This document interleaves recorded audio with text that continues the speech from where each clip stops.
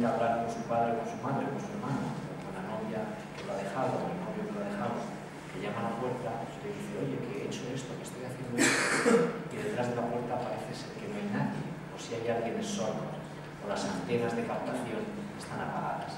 Es decir, hay cosas que se están moviendo, pero parece que muy poca gente escucha parece que pocas instituciones están escuchando. Algunas sí que lo hacen. Ah, los parlamentos, algunos partidos, no sabemos si lo están haciendo a tiempo, siquiera si ah, será útil lo que estén haciendo ah, en el sentido de introducir algunos cambios ocasionados por estas llamadas desde la sociedad. Bien, iniciamos un momento de, o sea, iniciamos el momento en el que eh, sois vosotros, son ustedes los que tienen la palabra hemos tenido cuatro oradores espectaculares que nos han planteado una serie de temas de, de problemas que están ocurriendo en nuestra sociedad, de iniciativas. Así es que, eh, como se dice en inglés, the floor is yours, lo que significa algo así como que la palabra es vuestra, es de todos, para que podamos intervenir, hacer las reflexiones que consideremos adecuadas y las preguntas que también consideremos adecuadas. Solamente voy a pedir una cosa, dado que tenemos un tiempo limitado y son bastantes personas, les ruego que las intervenciones sean breves y en la medida de lo posible, solo en la medida de lo posible, que terminen con un signo de interrogación. Y si no, tampoco pasa nada. ¿vale? ¿Alguien quiere intervenir? Tenemos un micrófono por aquí para trasladar.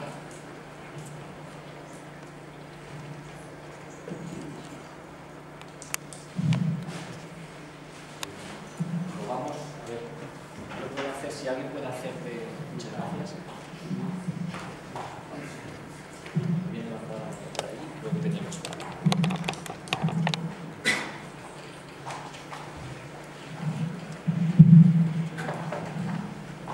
Bueno, voy a ser muy breve. Eh, he sacado conclusiones de tres de los intervinientes, pero no me he atrevido a sacar ninguna del cuarto. Entonces, vamos a ver. En el caso de Luis yo le quería hacer una pregunta concreta. En Iniciativa Sevilla Abierta hemos hecho un ciclo, una lectura en la Feria del Libro que se llamaba Pensamientos de Acción. Sin embargo, lo que él ha planteado es que la acción es posible sin pensamiento, o algo así en el sentido de que lo que se quiere se puede intentar conseguir, pero yo veo que ahí el pensamiento también es muy necesario. Entonces, porque no se trata solo de conseguir, pues no sé, tener un puerto que me parece importantísimo, sino quizá un replanteamiento de la democracia. Entonces, ¿no cree que ahí también el pensamiento habría que agudizarlo? Eh, por supuesto. El problema es que eh, la clasificación del pensamiento que creo perdón si soy un poco atrevido, eh, te refieres, es una clasificación que no es incompatible con determinadas acciones. En estos grupos que hacen cosas que les, eh, les interesan y que las hacen o las piden, las ejecutan, eh, no, no, no, obvian, no rechazan pensamientos mm, intentos más grandes o más ideológicos en el, sentido más eh, tradicional del, término. Eh, simplemente eh, en otra cosa para este caso específico. En, la experiencia que tengo yo de, emprendedores en Sevilla, pues ellos tienen una amplia variedad de ideas políticas y tienen una digamos, vida pública, política determinada en muchos casos, incluso en, dentro de partidos o sindicatos pero para determinados tipos de, acciones eso no es una clasificación está ahí, sirve para determinados ámbitos, pero no para problemas específicos, eh, para algunos problemas específicos, perdón. Y tienen un pensamiento distinto eh, para ese tipo de cosas y aplican resolviendo determinadas necesidades. no, no, no, son excluyentes, no me parece que sea tampoco totalizante eh, lo que hace la gente que yo veo que hace muchas cosas es actuar sobre un, pequeño mundo sin, sin, sin obviar eh, determinadas cosas que pasan a su alrededor. De hecho, ah, uno tiene mucho contacto con él, con este tipo de gente, la sigue en las redes sociales, etcétera, etcétera, y acaba diciendo, bueno, es imposible que yo me lleve, pueda llevarme bien o pueda tener una discusión yo qué sé, razonable sobre la hipoteca o sobre lo que sea con esta persona. Pero me, bajo a la calle porque tenemos que discutir cuándo se abren las verjas y no hay ningún problema. Simplemente son dos ámbitos distintos. Eh, no es el todo vale, no es eh, una forma neoliberal de la sociedad, ni es la vuelta del individuo, la reducción del Estado. No, no, no. Esto es otra cosa con una lógica y una ambición muy distinta. Bueno, y finalmente me ha quedado muy claro que hay un proceso en marcha, eh, por otra parte también resulta evidente por las noticias y en los periódicos, ¿no? para un cambio en el ejercicio de nuestra democracia y no subrayar los problemas, que ha sido el siguiente interviniente, ¿no? y también que en el ámbito científico pues, se están produciendo una serie de movimientos. Sin embargo, he sido capaz de sacar conclusiones sobre qué puede hacer un inocente y un mirón eh, para incidir en esta situación. O sea, como se trataba del protagonismo de la sociedad. ¿no? Eh, pues, mira, yo creo que cada uno en el ámbito. Yo creo que es muy importante entender que somos como usuarios, usuarios terminales de nosotros mismos. Y yo estoy hablando de nosotros mismos y de nuestras oportunidades. Creo que es un poco se, se estaba refiriendo. Las, oportunidades no las buscamos nosotros. ¿Qué podemos hacer cada uno de nosotros? Yo vuelvo a insistir en la honestidad. Quizás sea tremendamente utópico, pero yo es lo que trato de hacer cada uno de los días. Cuando eh, eh, trabajo en clase, eh, ya no estoy primando los diseños espectaculares. Soy arquitecto, no sé si se, ha dicho, ya a lo mejor se entiende mejor si, digo esto cuando en clase estamos haciendo un ejercicio ya no, se priman los grandes diseños de los edificios. A lo mejor estamos primando aquel que es más respetuoso con el territorio, cuando se entiende que el territorio es eh, como el aire o como el agua, un, un bien escaso, a lo mejor estas otras cosas de las grandes formas, de los grandes monumentos y de los grandes edificios, tiene que pasar a un segundo término y tenemos que empezar a gestionar ciertas cosas. ¿Qué hacemos? Cada uno lo que sabemos hacer, tú en tu ámbito, Javier en el suyo, cada uno de nosotros en el nuestro, ¿no? Con esa, como digo, individualidad responsable. Lo que pasa es que estamos eh, siempre con la idea de nos lanzamos a la calle a decirlo. Mm, ¿Y si no tenemos que lanzarnos a la calle a decirlo? A decirlo? ¿Y si es una cosa que tiene que ver, como digo, con esa terminal nuestra y con ese eh, pequeño aleteo eh, de deseo que lanzamos hacia los demás y que nos apoyamos los unos en los otros simplemente a través de nuestras acciones y no de esas hordas, como de la, de la manada. ¿no? Mm, yo no hago mucho, hago y no hago poco. Hago lo que sé hacer y lo mejor que puedo, simplemente. Y creo que esta cosa mediática de tenerla en cuenta está bien y además nos ayuda. Pero luego hay un trabajo detrás que me parece que es verdaderamente importante. Muchas gracias, Juan. Sí, yo quería felicitar a la, a la gestión de, los ponentes y, del moderador, así como su, su actuación. Eh, me parece que aquí está habiendo un, debate, una exposición de conocimiento que de verdad son muy interesantes. Eh, una posición que con lo que decía Luis sobre que los debates que hay en el medio de comunicación son muy aburridos, son muy sectarios estamos viendo gente que está hablando tal vez de un, problema común desde perspectivas muy diferentes y, además imprevisibles. Y pienso que hay mucho, eh, se ha dicho, eh, tras hacer un diagnóstico, algunos habéis apuntado algunos Yo quería eh, preguntarle a Francisco Jurado si él pudiera especificar tres o cuatro tratamientos específicos ese diagnóstico, de esa acción de la, política, y si él piensa que el camino está fundamentalmente por hacer una exigencia a los partidos políticos o que la propia sociedad civil puede seguir un camino. El tratamiento de, de, cura de esa patología, me imagino que, que, que se refiere, ¿no? Eh, bueno, sí, de hecho en marcha hay varios. Eh, destacaría pues, tanto la organización que, que se está haciendo en, en, la calle, a mí me, me, llama mucho la atención, por ejemplo, la plataforma de afectos por hipoteca como red solidaria, eso de que se hayan parado cerca de 600 desahucios en apenas un año y pico, que gente que se desplaza a casa de una persona que la van a echar a su casa y se pone por medio para que le den palo. Eso es alucinante. También he hablado antes de, de la causa de 15 Parrato, por ejemplo, cómo eh, un grupo de gente se organiza en redes sociales, redactan una querella criminal contra 36, 33 consejeros de, de un banco, eh, recolectan en un crowdfunding en red en 24 horas 19.000 euros, eh, buscan accionistas y los consiguen que pongan sus acciones al servicio de él. Y eh, pues ahí están personados en la causa contra estos 33. Em, por otro lado, aquí en Sevilla nació la idea de Democracia 4.0, que era un trabajo legal de un abogado sevillano, de Juan Moreno Yagüe, que también el abogado que está en justicia en Barrato, eh, que utilizando el derecho de petición del artículo 29 de la Constitución eh, hizo un compendio jurídico, un artefacto, bueno, reunió todos los artículos del ordenamiento jurídico que decían que ya deberíamos estar votando directamente por Internet las leyes sin necesidad de, de ser representados. Ese texto eh, lleva en la Comisión de Garantías Constitucionales un año y pico, tenían que haber contestado hace un montón eh, y no contestan simplemente porque no pueden decir que no a lo que se ha dicho. Muchas veces eh, pensamos, ahora mismo además nos estamos urgiendo a que hagamos un partido político, a que nos presentemos, parece que es la única manera de actuar. Sin embargo, esto que se llama 15M, que para mí son dos cosas, primero un estado de ánimo y segundo un método que se aplica y se replica en diferentes ámbitos.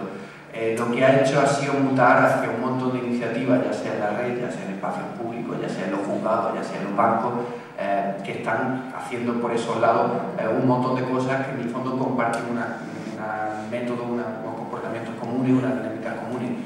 Eh, para mí lo más importante de, de, todo lo que se está haciendo en red es el cambio cultural, cultural en sentido amplio. Para mí esto es una revolución que parte de una revolución en las comunicaciones que se convierte en una revolución cultural y que a partir de ahí arrastra ya a lo que sería una revolución social, una revolución política, una revolución tecnológica y todo lo que viene.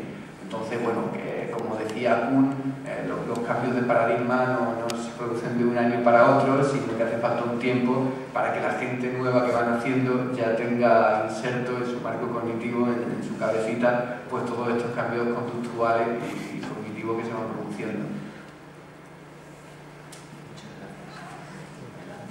Sí, yo voy a hacer una pequeña introducción y una pregunta al primer interviniente, a Francisco. Eh, Estamos en, en, una crisis económica que, que, bueno, nada más hay que poner la televisión o, o escuchar la, lo que se habla en la calle, cualquier foro, pero hay una crisis política que ha estallado a la vez de la económica que, que yo creo que es tan importante o más porque precisamente desde la política es donde se tendría que resolver la economía. Los partidos políticos están totalmente desprestigiados desde, desde que hacen el programa electoral, porque claro, el programa electoral no lo cumple. Tenemos el ejemplo del actual Partido Popular, que, que el mismo ha dicho, bueno, pues yo cumplo con mi deber, pero yo cumplo con mi programa, o, o quedar cuando decía este voto, cuando echaba el voto en la urna, es un contrato de trabajo, un contrato de trabajo en, en la cola de vida.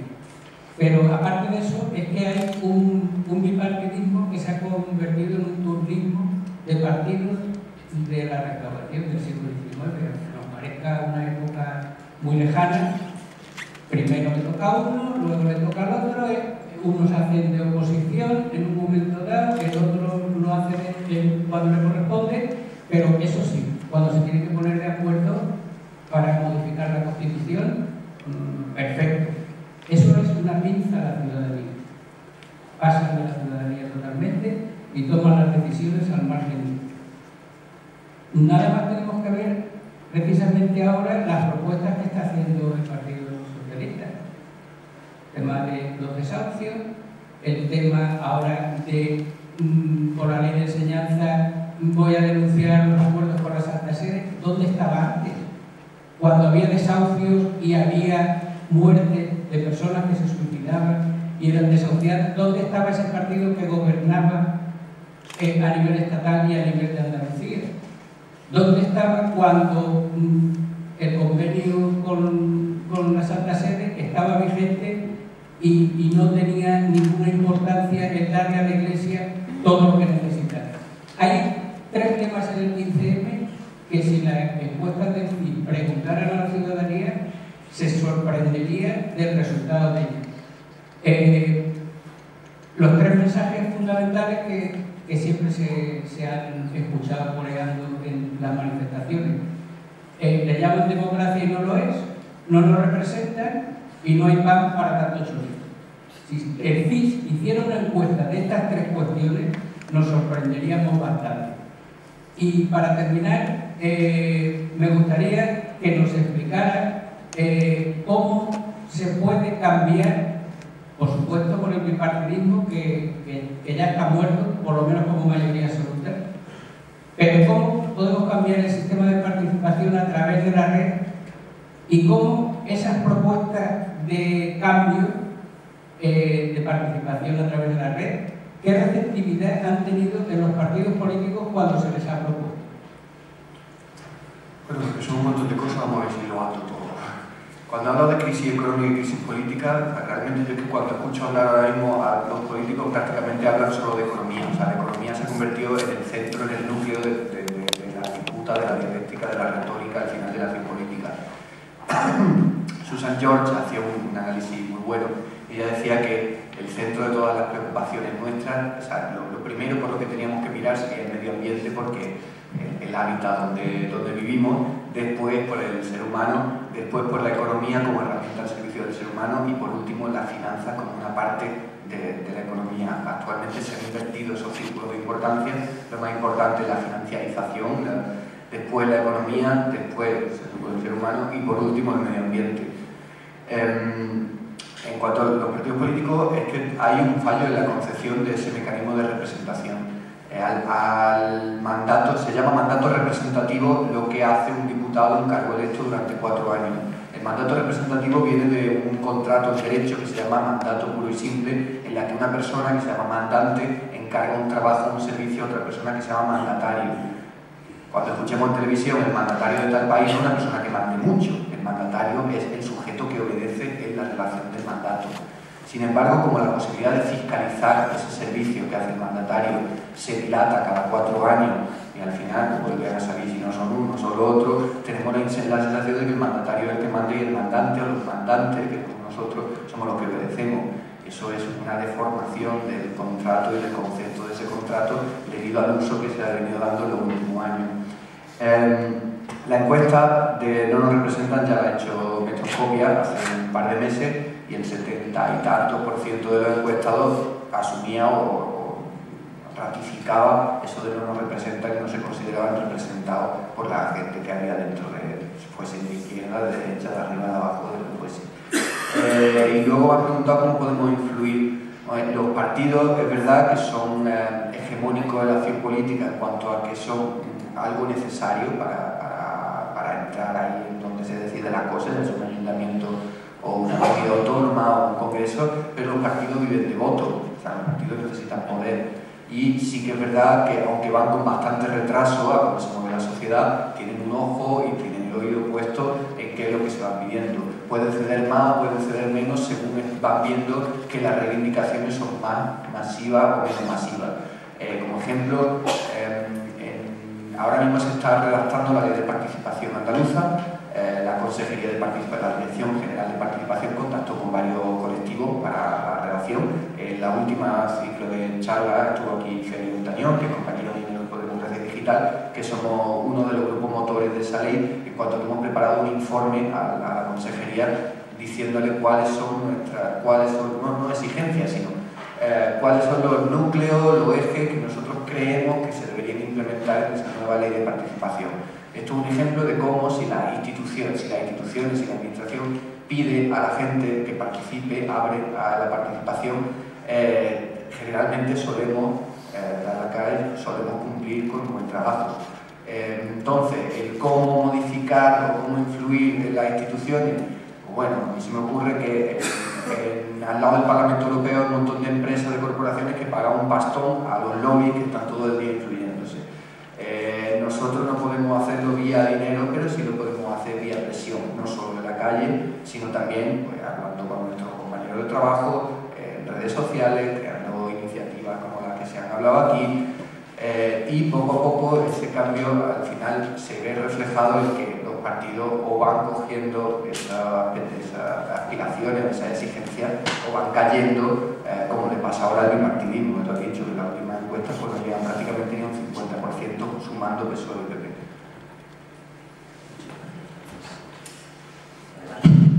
yo soy mandatario según la definición que acaba de dar Francis, soy diputado en el Parlamento de Andalucía, eh, siguiendo también la intervención que acaba de, hacer el moderador, en vez de dar golpes en la, en la puerta y, no escuchar a nadie, yo me he llevado en esta magnífica sesión, la cual agradezco mucho a mi de Sevilla La sigo desde muchos años, y Luis, ya está claro que es el padrino aquí, en la discusión, creo que no voy a debate que sí, muy interesante intervenciones, pero sí creo que para mí, alguien que, quiere estar muy abierto, que quiere estar muy cerca de las cosas que van planteando, eh, me ha parecido muy interesante. Y cada una de las intervenciones, la de Francis desde el de colectivo, de Luis desde la singularidad, de las iniciativas particulares que se están teniendo con multitud de nuevos actores, también, como no, la del investigador, algo me toca, soy eh, investigador de esta universidad, en fase final de tesis doctoral, por tanto, de alguna manera algo próximo que todo lo he dicho, pero si me los tres quiero fundamentar mi pregunta en la intervención, que me ha parecido más filosófica, tanto más permanente en todas las cosas que subyacen de lo que han dicho. Eh, yo creo firmemente en, lo que has planteado, me ha parecido que llega bastante bien, que es bastante simbólico que de nuevo renazcan las luciérnagas porque se porque ha habido ese apagón, ese gran eh, fogonazo de luz que se ha apagado por mor de la crisis económica, la que ha venido después, la política, etc. Y mi pregunta es, ¿cuándo, cualquiera de los cuatro, está siguiente? ¿Qué riesgo tenemos que todas estas iniciativas que habéis comentado, algunas las comparto completamente, otras no, daría para mucho debate, pero ¿qué riesgo hay que en el momento que vuelva la luz, en el sentido que tú la comentabas, la luz de la, de la recuperación económica, la luz de la recuperación del empleo, la luz de la recuperación de la riqueza, yo creo que desmesurada y sin límites, como tú bien lo has planteado, ¿qué riesgo hay a que nuevo desaparezca la anciana? O sea, eh, ¿Cuánto hay de, de, movimiento en el sentido más profundo del mismo? Porque de verdad que hay una cosa que está mejor, Francis me acaba de poner un ejemplo que probablemente antes mm, nadie lo hubiese admitido en el sentido que lo ha comentado, eh, y qué riesgo por tanto existe en que aún existiendo muchos avances, yo creo que cortos todavía, pero existiendo muchos avances, pues eh, una vez que reaparezca, con todo lo deseamos, esa luz, eh, en el sentido negativo que tú has planteado, pues de nuevo desaparezca la luciérnaga y de nuevo, por tanto, se apagan todas las buenas iniciativas, algunas discutibles, pero yo creo que con buena voluntad y con buena fe en la inmensa mayoría de todas. Mi sueño es que el alumno vuelva. Mi sueño es que en poco tiempo todos los ciudadanos tengamos una linterna en la mano y un niño diga, el rey está desnudo. Y que se dé cuenta el poder político, los poderes económicos, etcétera, etcétera, que nosotros somos más y que dependen de nuestra obediencia. Sentido, eh, soy un poco utópico, un sueño muy bonito, pero las alternativas son mucho peores.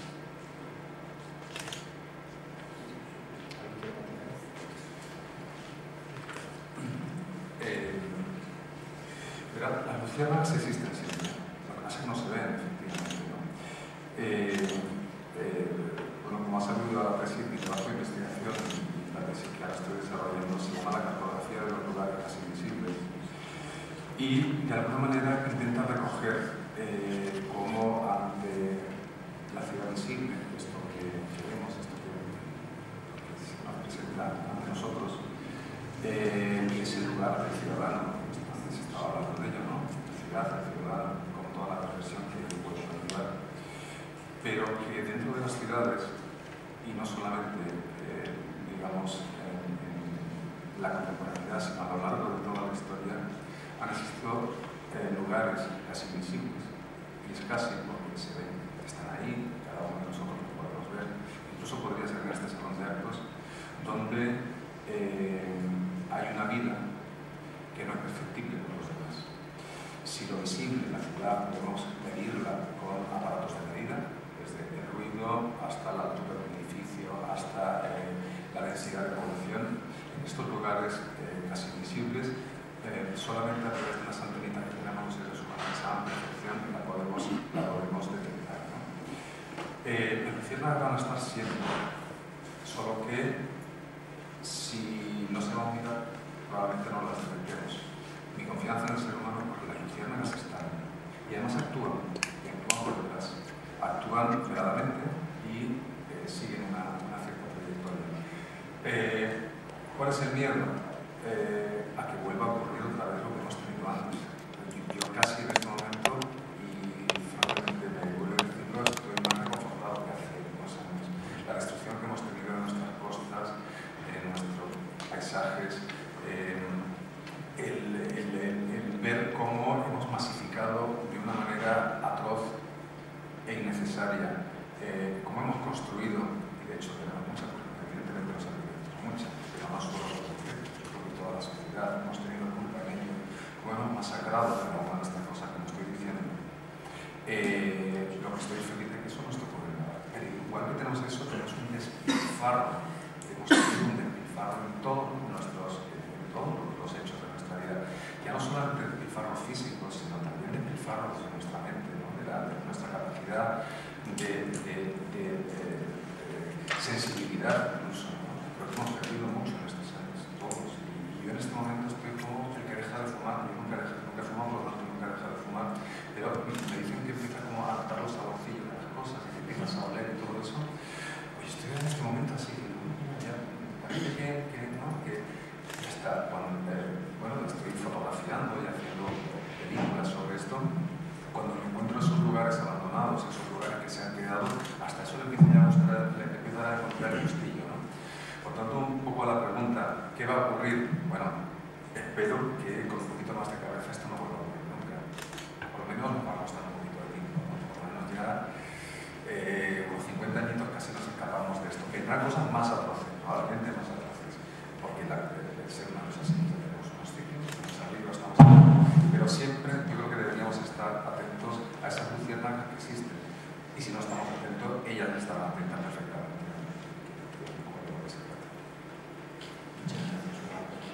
Yo sé que eh, a mí me parece que no hay vuelta atrás. Si esto fuera una crisis económica nada más, eh, si fuera una crisis financiera nada más, entonces sí que se podría revertir el ciclo y probablemente eh, podría ocurrir lo que comentas. Pero no se trata solo de eso, es una crisis política, es una crisis medioambiental, es una crisis de valores, son muchas crisis, no solamente una crisis económica. De manera que yo lo que veo es que, como decía Francis, eh, las luciérnagas que están surgiendo está provocando un cambio de paradigma y, y creo, bueno, yo soy muy optimista, pero creo que es eh, que, que, no se va a frenar, que, que, va a continuar ese cambio. No sabemos hacia dónde todavía, pero, pero que, no, que no va a terminar aquí, eh, que, que, no hay vuelta atrás. Muchas gracias, Javier. Vamos con la última pregunta, son casi las 9 y 20. Sí, pues seré muy rápido. Eh, vamos a ver, hay un, una marcha atrás, o hemos experimentado en nuestra experiencia vital una marcha atrás en el ejercicio de la democracia. Y hay también, vamos experimentando, una devolución o una pérdida de derechos eh, civiles, lo que llamamos estado de bienestar. Bien, el mapa ese estupendo que has puesto, que has explicado, porque jurados no veis, eh, que por cierto yo te ruego que si es posible lo pongas a disposición de iniciativas que ya abierta lo vamos a publicar en la página. Mm, me parece que falta algo y es todo eso que ocurre, todo eso que está ocurriendo, eh, que has dibujado y explicado perfectamente, eh, ¿por qué pasa? ¿Qué es lo que está pasando? ¿Es fruto de la casualidad? ¿Es algo que ocurre por sí solo? ¿O hay alguien, hay quien está detrás de que eso sea así? El profesor Josep Fontana, profesor de la Universidad de Barcelona, que tiene un libro espléndido que se titula El futuro en un país desconocido, y que recomiendo a todos los presentes, eh, dice que a partir de los años 70 y tantos, eh, con Reagan y con Thatcher, se planifica y se plantea, mediante la toma del, poder político mundial por parte de la minoría más rica más poderosa, se plantea, se plantea con claridad el que esto hay que derrotar. Y la crisis no es más que la disculpa que permite llevar a cabo todo esto. Me gustaría escuchar la opinión eh, tuya al respecto, si esto es así, y que amplíes un poco el, por qué ocurre. Que parece siempre que al hablar de esto, ocurre por muy rapidito porque se va más de tiempo. A ver, eh, dos cosas fundamentales de base. Eh, la definición que se nos da en, la universidad cuando se estudia economía o en el bachillerato es que es la ciencia dedicada a satisfacer unas necesidades ilimitadas con unos recursos escasos. Fíjate la incoherencia. Es imposible satisfacer necesidades ilimitadas con recursos escasos porque se acaban. Pero eso impregna el ADN también de las empresas que crecen con la o sea, que nacen con la vocación de aumentar año a año los beneficios eso se incardina con la manera de medir el desarrollo que tenemos ahora, que es el Producto Interior Bruto, y si no crecemos por encima del 2% no se produce empleo. O sea, eh, todo está diseñado de manera que cada vez se aumente beneficios, se aumente riqueza, se produzca, se consuma, se tire más, se produzca, se consuma y se tire más. Eso es el sustrato que hay de fondo. En el momento que tú estableces un sistema mixto de mercado con propiedad pública y con servicios públicos que no tienen esa vocación de ganar beneficios, eh, la empresa o a, esa mentalidad económica competitiva le surge el problema de que habrá sectores de los que nunca jamás podrá sacar beneficio y es necesario trazar un plan para ir desposeyendo a lo público de, de todos esos sectores y hacer, hacerlos rentables, ¿no? que es lo que estamos viendo. Eh, Thatcher y Reagan fueron los pioneros en, Estados Unidos y en Europa, pero por ejemplo existen los acuerdos generales de liberalización de servicios que firman, se hacen en el seno de la Unión Europea, con participación de la, de OCDE, con participación del Fondo Monetario Internacional, y que ya en el 96-97 identifican los sectores que dicen literalmente están maduros para la liberalización. Identifican medio ambiente, identifican educación, identifican sanidad y pensiones. Entonces todo cobra un sentido de, bueno, como el Estado no puede, lo que vamos haciendo es quitar cosas que hay dentro del Estado porque no puede, hay que ser usted austero y dar entrada a esos capitales privados que hagan negocio y que sigan perpetuando esa idea del, del producir, consumir, tirar, privatizar y ir sacando cada vez más beneficios hasta, hasta donde se pueda. Por eso hacía yo antes la diferenciación entre lo que es algo común y lo que es algo público. Al final, lo público y lo privado, aunque parezcan cosas opuestas, son sistemas, o sea, son eh, figuras jurídicas de propiedad y de gestión centralizada. Aunque lo público lo entendamos como mucho, siempre va a ser una persona o un grupito de personas los que se encarguen de gestionar lo público. Y tiene el peligro de que lo público se convierte luego en mixto y luego se convierte en privado. Y además eso viene pasando con todos los servicios públicos. Se hace un siguiente paso, que es la creación de una empresa pública que admite capital privado, luego el 51% pasa a ser un 49%, ya la empresa privada que controla un poquito más y al final termina siendo privado. El común o el commons es una figura eh, que ya existía en la Edad Media en, en, en la granja, en los campos, en, en Gran Bretaña, donde eran los ciudadanos los que compartían la propiedad y compartían la gestión. Y era necesario el visto bueno de todos para que se diese un paso en cualquier decisión que afectase a los recursos, a la gestión de los mismos. Lo que pasa es que eh, después de la Edad Media, cuando empieza la industrialización, se, se escriben, se realiza lo que se llama enclosus allí en Gran Bretaña, que fue ir parcelando poco a poco para que no fuese esa propiedad difusa y común y esa gestión difusa y común, con el objetivo de lo que primero es público, luego al final tiene que ser privado. Todo esto claro que es una dinámica y que esa dinámica yo una intencionalidad que no es nueva de ahora, sino que se ha aprovechado esta crisis llamada financiera para finiquitar o para terminar de finiquitar ese plan. Eh, no estoy de acuerdo. No, estoy de acuerdo. No hay marcha atrás en el ejercicio de la democracia. No lo hay. Eh, voy a usar otro símil. Cuando somos eh, pequeños, cuando somos niños, nuestros padres parecen perfectos. Cuando somos adolescentes empezamos a ver sus defectos.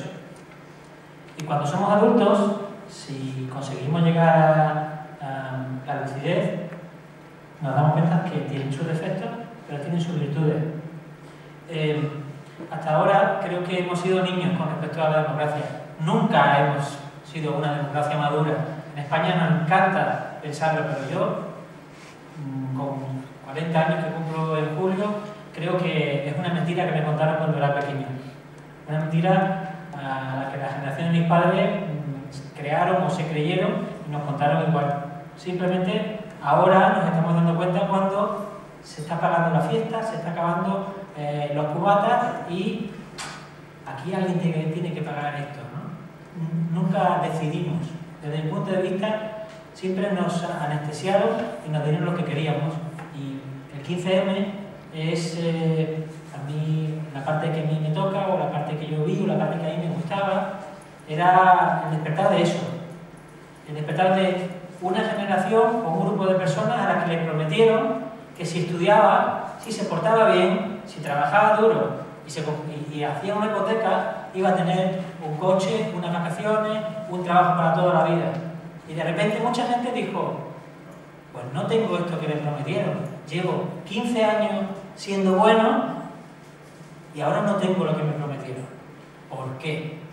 Eso es, yo creo que es un poco cómo, van las cosas y por qué el 15M aglutinó a tanta gente. Porque eso fue una, una parte, pero también había otra parte que decía, que se quejaba de la ley Sinde, después ley Sindeberg hay otra gente que se, que se, que se preocupaba eh, y le preocupaba la hipoteca. Pero mucha gente vimos que el rey estaba desnudo, que lo que nos estaba proponiendo, la promesa, no la estaba cumpliendo. Y no sabemos qué es lo que va a pasar. Eh, porque, ya terminó, si hay de verdad una marcha atrás, si cada vez es una sociedad menos democrática, si cada vez mandamos menos a los ciudadanos, entonces es sencillo. La culpa la tiene Zapatero o Rajoy. La solución, curiosamente, es que venga otra persona, quien sea. Y entonces volveremos al estado de democracia. Seremos una democracia madura, como nos dijeron en los 80.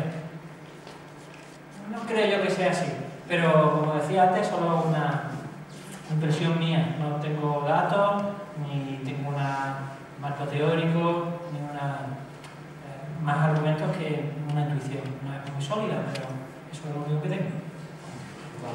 o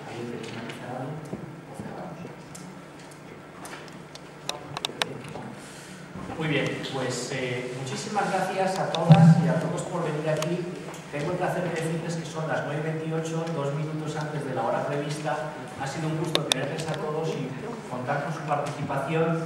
Ha sido un gusto también moderar esta mesa tan interesante y tan llena de ideas. Ah, muchas gracias a todos por su participación, por haber venido aquí, por habernos aguantado hasta ahora. Espero que disfruten del resto de la semana.